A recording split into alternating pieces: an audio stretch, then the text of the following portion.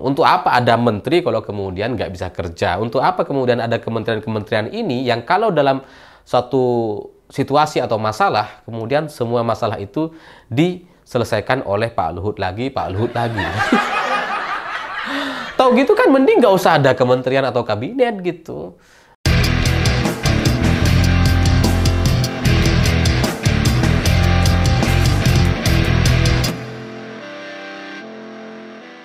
Selamat malam semuanya.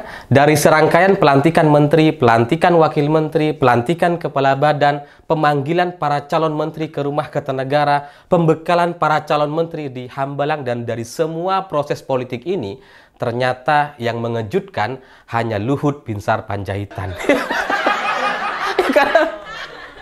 Ya karena kalau yang lain gitu ya dipanggil ke Kertanegara dulu kemudian dikasih pembekalan di Hambalang dan kemudian kita bisa mengira-ngira oh ini kayaknya jadi ini ini kayaknya jadi menteri ini dan sebagainya gitu ya dari semua bocoran-bocoran yang ada daftar atau susunan kabinet Prabowo Subianto itu tidak ada satupun yang memuat nama Luhut Binsar Panjaitan. Karena Pak Luhut sudah waktunya pensiun, kembali kepada keluarga, udah nggak maulah jadi menteri dan sebagainya ini, katanya gitu ya. sampai pagi harinya gitu ya, sampai uh, jelang pelantikan menteri dan wakil menteri, itu nggak ada tuh tanda-tanda Pak Luhut akan dilantik.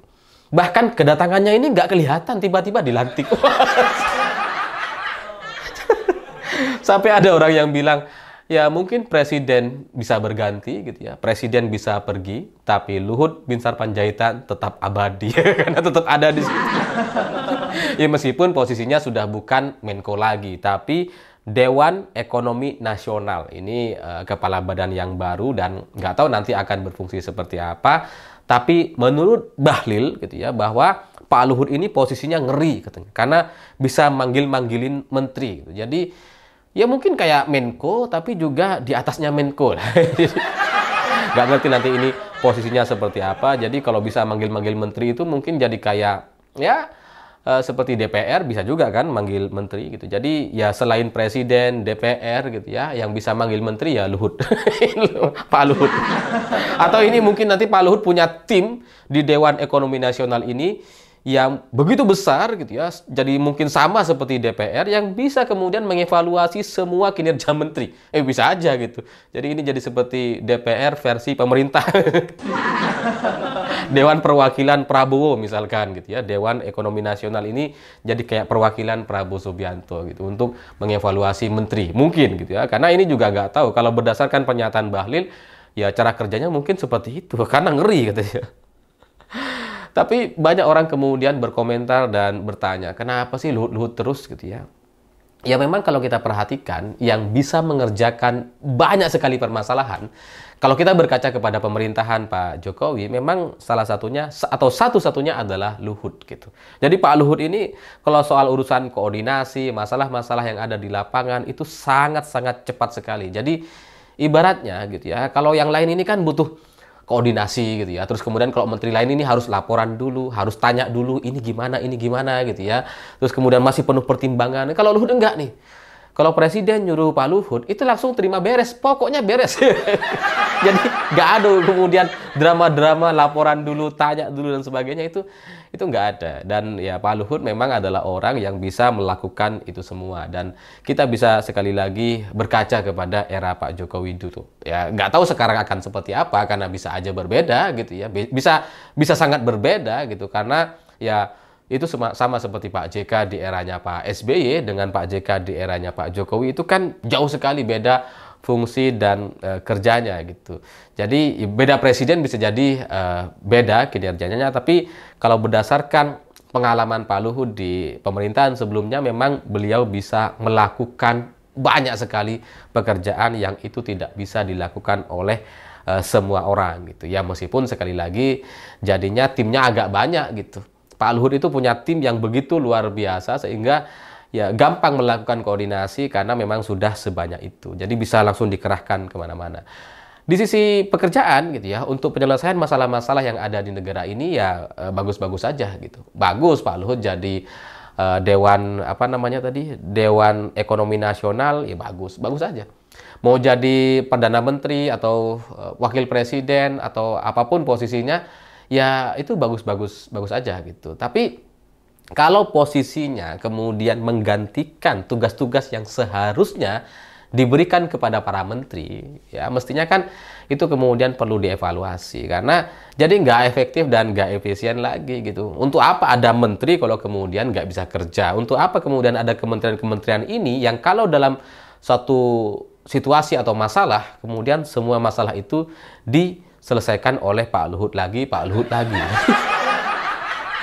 Tahu gitu kan mending nggak usah ada kementerian atau kabinet gitu mending menterinya Pak Luhut satu gitu. Terus kemudian di bawah tuh ada kepala bidang atau kepala staf atau staf gitu ya. Jadi menterinya tuh cukup Pak Luhut aja sebenarnya. yang lain nggak usah gitu. Atau Menko-nya Pak Luhut mem membawahi semua kementerian gitu. Sehingga ketika ada masalah-masalah atau urusan-urusan yang tidak bisa diselesaikan oleh menteri, itu Pak Luhut itu nggak di nggak dipertanyakan oleh masyarakat atau publik gitu. Karena kadang bukan kerjaannya tapi dikerjakan sama Pak Luhut. kan lucu gitu. Jadi ya mungkin ke depan ini perlu dipikirkan, mungkin juga diperlu perlu dibuatkan undang-undang agar Pak Luhut itu bisa berada di atas menteri gitu ya, yang kemudian bisa memberikan perintah apa pun dan menyelesaikan semua permasalahan yang ada di negeri ini. Jadi selanjutnya anggarannya bisa difokuskan kepada Pak Luhut dibandingkan menunjuk banyak menteri tapi kemudian ternyata banyak yang tidak bisa bekerja atau menyelesaikan persoalan kan kan ya eman-eman gitu mending semuanya kasih ke Pak Luhut gitu. Supaya apa? Supaya begitu powerful dan semakin semangat timnya bekerja. Ini menterinya udah nambah gitu ya. Kementeriannya sudah 53 lebih banyak dari era Presiden Jokowi, tapi tetap ada Luhut juga. ya saya pikir gitu ya, ketika ada 108 orang dipanggil ke Kertanegara yang katanya ini akan menjadi menteri dan wakil menteri saya pikir oh itu karena nggak ada Pak Luhut tuh makanya jadi repot semuanya gitu ya jadi kayak wah kesulitan tuh makanya beberapa kementerian harus dipecah tuh karena nggak ada Pak Luhutnya yang nggak bisa menyelesaikan beberapa permasalahan-permasalahan yang memang uh, spesifik atau unik gitu jadi ya mungkin itu alasannya gitu ya kebanyakan menteri atau banyak penambahan kementerian dan wamen itu mungkin karena faktor itu tapi ternyata ada Pak Luhut juga di situ. Saya juga jadi bingung. Ini sebenarnya kementeriannya gimana? Tujuannya seperti apa? Karena kalau ada Pak Luhut juga eh, Luhut lagi untuk kemudian menyelesaikan persoalan yang ada di Indonesia, semestinya kan ya kementeriannya ya minimal sama lah. Kayak kemarin gitu ya 34 cukup lah. Jadi nggak perlu terjadi penambahan sampai 53 kemudian 56 jadi wakil menteri. Itu apa gitu? Itu buang-buang anggaran aja. Jadi ya ya kita lihat saja mungkin mungkin fungsi dan tugasnya berbeda karena ini beda presiden gitu ya. Cuma ya kasihan saja gitu. Anggaran yang begitu besar yang kemudian di, uh, di diberikan kepada pos-pos kementerian kemudian dipecah-pecah bahkan ada Menko yang sebenarnya itu satu kementerian gitu ya, tapi ada Menko yang membawahi tiga kementerian yang sebenarnya tiga kementerian ini itu sebelumnya satu dipecah menjadi tiga supaya ada menko-nya. Ini kan ada tuh. Ya saya nggak usah sebut lah, kalian cek sendiri gitu ya. Jadi ya dengan segala kekacauan ini ya rakyat atau kita semua cuma bisa bisa komentar ya mau gimana lagi gitu. Mereka yang punya kuasa udah terlanjur berkuasa kita mau bilang apa pun ya kayak nggak ada gunanya. Apa coba gitu? Kita cuma berkomentar supaya nggak stres aja, nggak ada dalam pikiran kita unek-unek yang eh, kemudian nanti bisa tambah stres gitu ya. Karena kalau unek-unek itu disampaikan gitu ya, apa yang ada dalam pikiran kita itu dicurahkan, mungkin itu mengurangi apa namanya stres kita gitu. Dan teman-teman yang nonton YouTube YouTube saya kan juga kurang lebih sama gitu ya. Mereka punya pemikiran yang sama dan kemudian apa yang saya sampaikan itu mewakili banyak orang. Jadi mereka senang nonton, oh ini bener nih.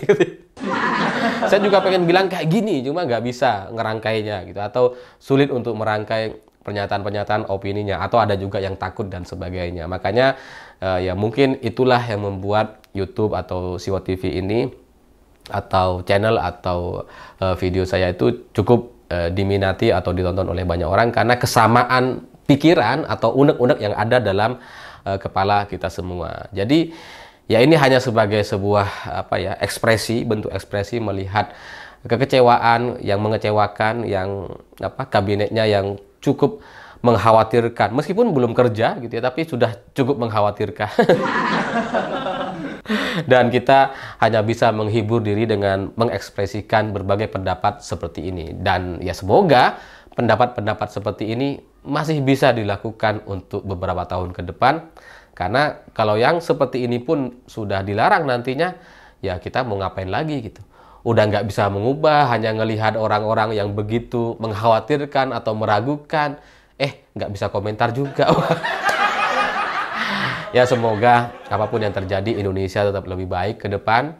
Kalaupun pemerintahannya tidak baik semoga takdir Tuhan untuk kita semua untuk masyarakat Indonesia dengan segala cara semoga kita tetap bisa bertahan dan bisa lebih baik ke depan. Saya pikir itu. Terima kasih sudah menonton. Begitulah kura-kura